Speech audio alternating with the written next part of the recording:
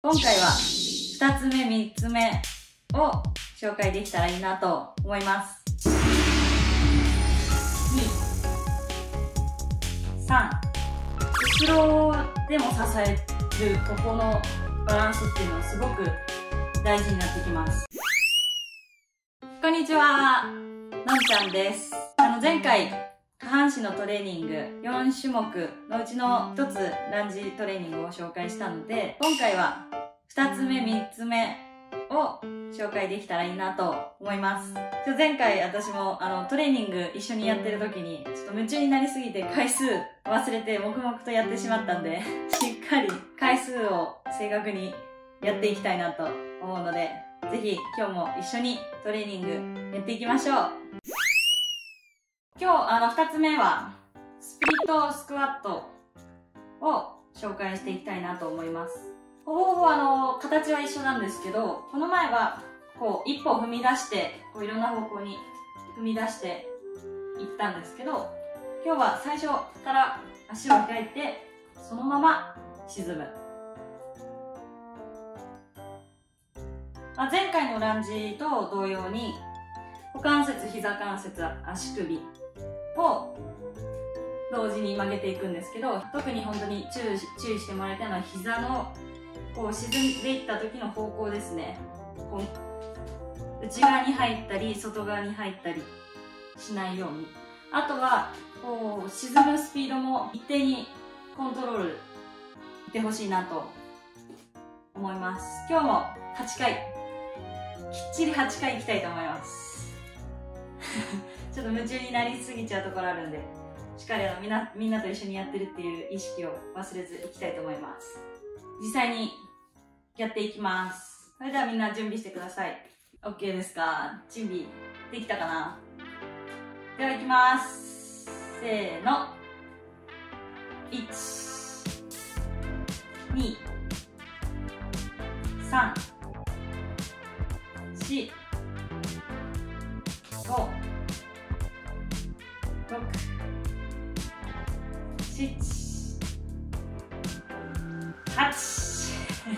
し。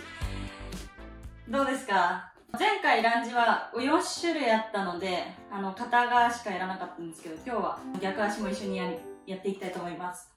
では逆準備してください。いきます。せーの。1 2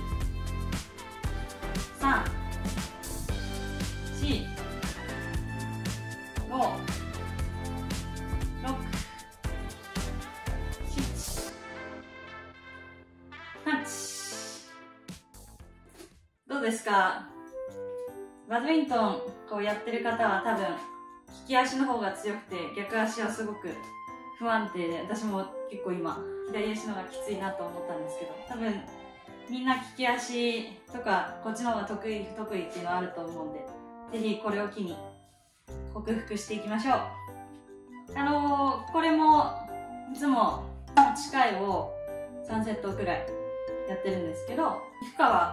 それぞれ違うので自分に合った負荷を見つけてください。また今回もあの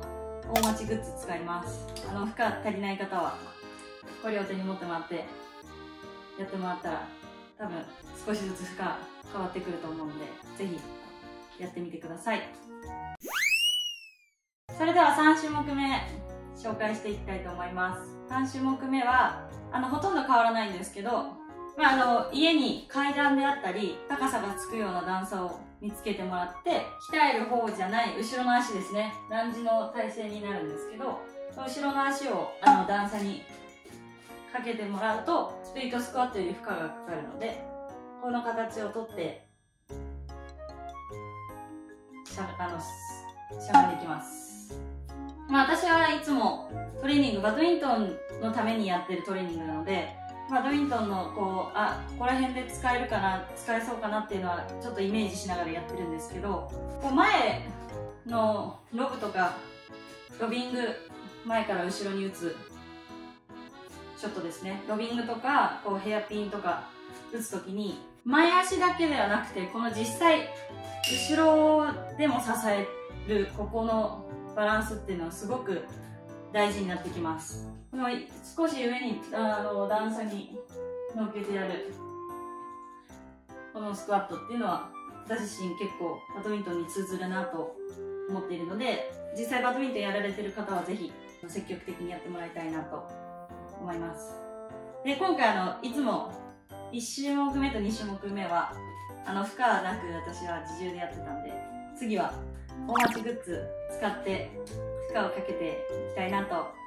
思います。で私もこのソファーを使って8回やっていきたいと思います。それでは準備してください。いきます。1 2 3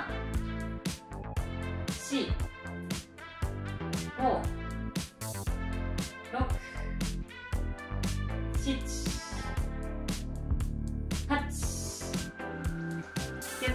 きます。いきます。1 2 3 4 5 6 7 8